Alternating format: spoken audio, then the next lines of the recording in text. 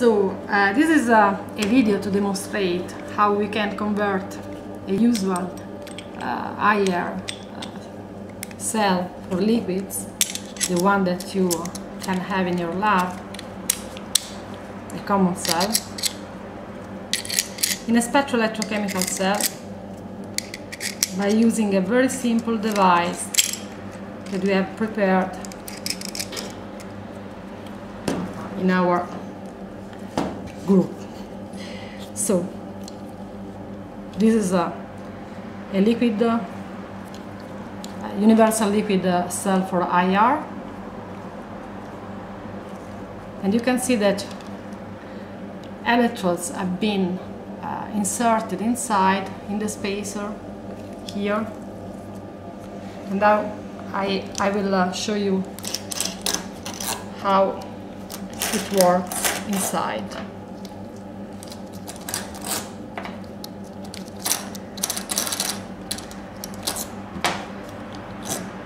So it's very simple because we just uh, substituted this, the Windows aligner, the common Windows aligner, with a new different Windows aligner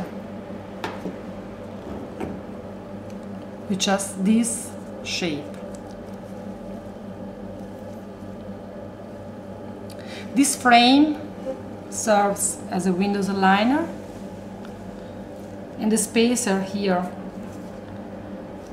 contains the electrode and can be easily removed from the frame so that the, the, the care of the cell is very easy because this is a this can be considered as a spare part and you can uh, use it and uh, change it very easily.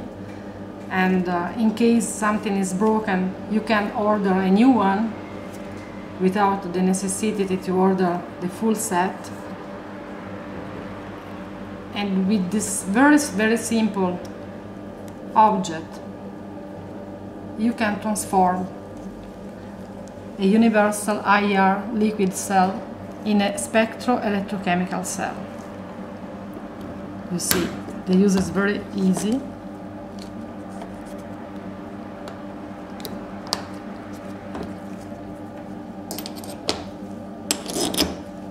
These are the filling ports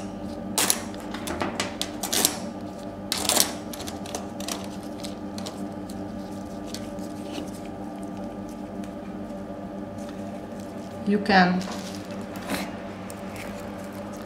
hang your electrodes to the potentiostat this way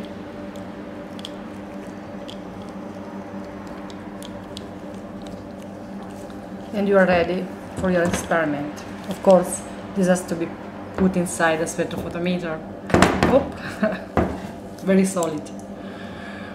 So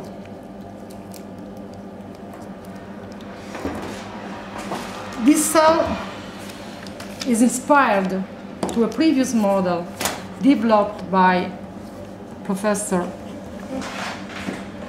Hart and described in the Journal of Electro, Electro Analytical Chemistry some years ago.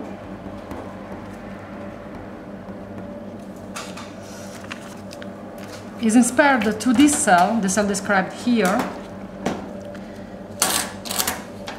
but as an extra bonus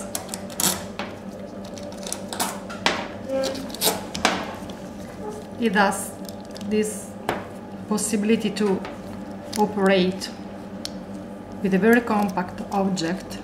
There is no, not any fragile part which is exposed to the environment.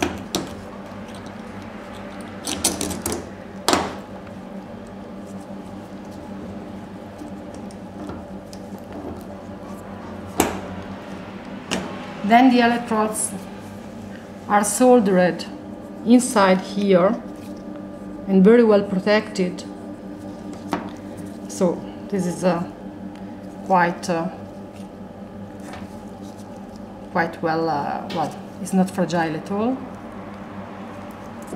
It's very easy to replace it. You can order a few of them. And here I will show you how it works here inside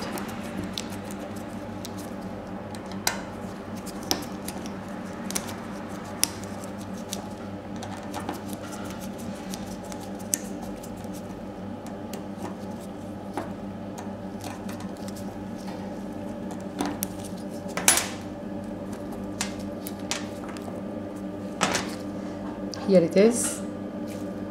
You see these are quite fragile and susceptible to be broken if you bend the spacer. But this way they are very very well protected. And the spacer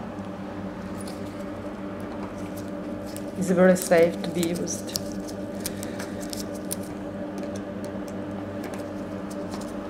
Oh.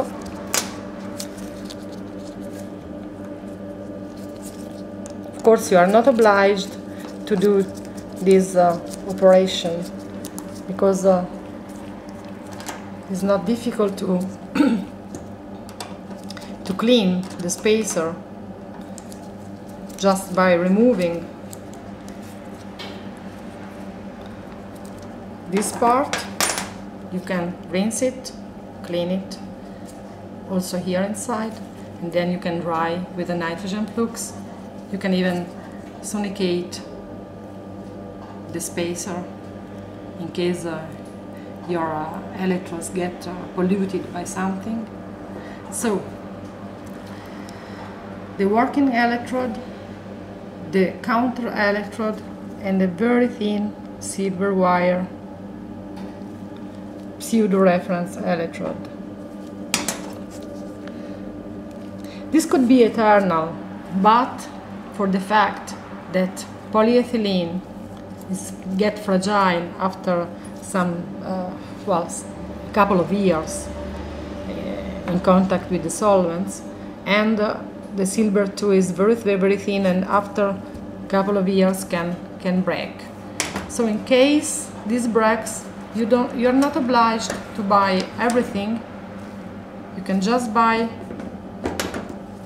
a new spacer with his own tea uh, accommodation and you buy it, you don't have to do anything else than just put it in his place and that's ready again for your spectroelectrochemistry.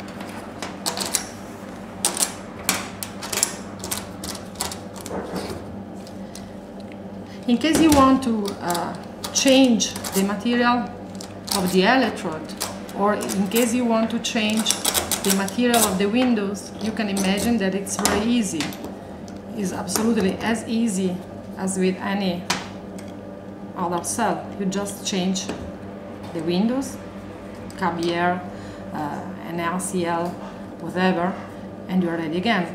These are uh, calcium fluoride uh, windows and this makes the the OTTLE cell, the spectroelectrochemical cell, uh, useful to be used in the UV, VIS, NIR and IR. Okay, so I will show you a little bit of its, its use.